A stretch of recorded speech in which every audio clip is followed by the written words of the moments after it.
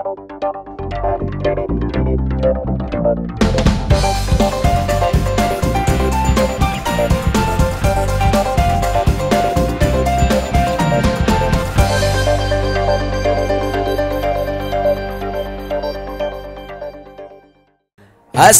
علیکم خواتین حضرات، میں ہوں آپ کا میزبان شامر حسن اور ویلکم کرتا ہوں آپ کو ہمارے چینل کنزیومر پاکستان میں۔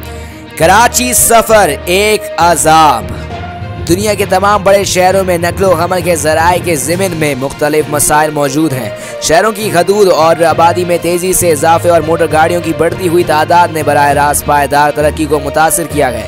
شہروں میں نقل و حمل کے لیے استعمال ہونے والے ذرائع کے ماحولیاتی اور سماجی اثرات بھی ہیں۔ ان مسائل اور اثرات کو مد نظر رکھتے ہوئے دنیا بھر میں پائیدار ذرائع نقل و حمل کا تصور بھی سامنے آیا ہے، جو دراصل نظام ہے۔ شہر کی سڑکوں پر بڑھتی تعداد میں چلنے والی کافی پرانی اور ایسی گاڑیاں ہیں جن کی مناسب انداز میں دیکھ بھال نہیں کی جاتی۔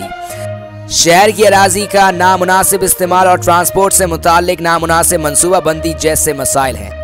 پاکستان کے سب سے بڑے اور دنیا کے تیسرے سب سے بڑے شہر کراچی کی خستہ حال اور ٹوٹی پھوٹی سڑکیں ظاہر کرتی ہیں کہ میگا سٹی سیاسی طور پر یتیم ہو چکا ہے۔ رپورٹ میں موٹر کاروں کے پرزے تیار کرنے والی کمپنی مسٹر آٹو کی رپورٹ کا حوالہ دیا گیا، جس میں کہا گیا کہ دو ہزار انیس میں دنیا کے سو بڑے شہروں کے سروے میں انکشاف ہوا کہ کراچی ان شہروں میں شامل ہے جہاں پبلک ٹرانسپورٹ کا بدترین نظام ہے۔ اس شہر میں چلنے والی بسیں کئی دہائیوں پرانی ہیں۔ ان میں بے پناہ رشک ہوتا ہے اور بعض اوقات مسافروں کو چھت پر بیٹھ کر سفر کرنا پڑتا ہے۔ اس شہر میں چلنے والی بسیں کئی دہائیوں پرانی ہیں۔ ان میں بے پناہ رشک ہوتا ہے اور بعض اوقات مسافروں کو چھت پر بیٹھ کر سفر کرنا پڑتا ہے۔ کراچی کو ترقی دینے کے لیے 1949 سے اب تک پانچ ترقیاتی منصوبے تشکیل دیے گئے، مگر ان میں سے کسی ایک پر بھی عمل درآمد نہیں ہوا۔ اس صورتحال کی وجہ سے کراچی بنیادی سہولتوں کے لحاظ سے آج بھی بہت سے مسائل کا شکار ہے۔ ان میں سے ایک بہت اہم مسئلہ ٹرانسپورٹ کا بھی ہے۔ رہائشی آبادیوں کے باقاعدہ منصوبہ بندی نہ ہونے اور رہائشی اکائیوں کی کمی کی وجہ سے شہر کی آبادی کا تقریباً پچپن فیصد حصہ کچھ آبادیوں میں رہتا ہے۔ یہ آبادیاں کاروبار اور روزگار کے بڑے مراکز سے بہت فاصلوں پر واقع ہیں۔ ان آبادیوں کے مکینوں کا شمار غریبوں میں ہوتا ہے اور جو زیادہ کرایہ ادا کرنے کے قابل نہ ہونے کی وجہ سے کم درجے کی مسافر بردار گاڑیوں میں سفر کرنے پر مجبور ہیں۔ کراچی دنیا کا واحد ایسا مہگا شہر ہے جہاں ریل بیسٹ ماس ٹرانزٹ نظام نہیں ہے۔ کراچی سرکار ریلوے کا آغاز 1964 میں ہوا تھا۔ اس وقت شہر کی جو حدود اور آبادی تھی، اس کا بڑا حصہ اس نظام کے تحت تھا۔ لہٰذا اندرون شہر سفر کرنے کے لیے بڑی تعداد میں لوگ یہ نظام استعمال کرتے تھے۔ اس وقت سرکولر ریلوے مؤثر اور سستا ذریعہ سفر تھا۔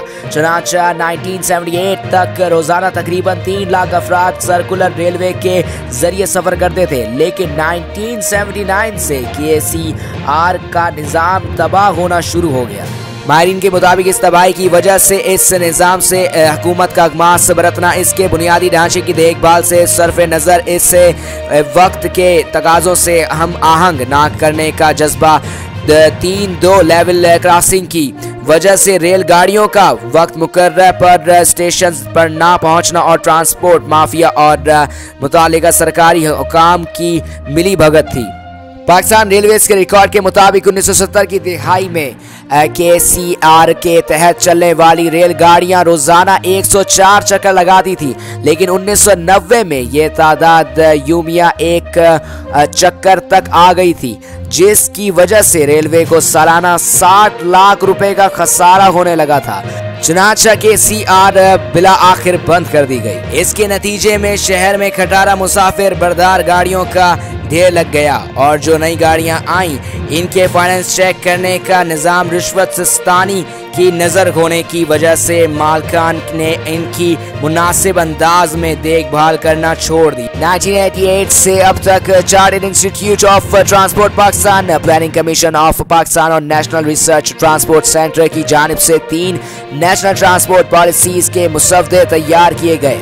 لیکن ان میں سے کوئی بھی منظوری نہیں حاصل کر سکا۔ چنانچہ آج پورے پاکستان میں کوئی اربن ٹرانسپورٹ پالیسی نہیں ہے۔ اسی کے ساتھ ہی میں ہوں آپ کا میزبان شامر حسن۔ آپ نے اپنا قیمتی وقت دیا۔ دوستوں آپ کا بہت بہت شکریہ۔ ہمارے چینل کو سبسکرائب کرنا نہ بھولے گا اور گھنٹی کے بٹن کو ضرور دبائیے گا تاکہ آپ ہماری ہر خبر سے باخبر رہ سکیں۔ کنزیومر پاکستان کے ساتھ سٹیٹ یون رہیے۔ کنزیومر پاکستان آپ کو ہر لمحے سے باخبر رکھے گا۔ اللہ نگہبان۔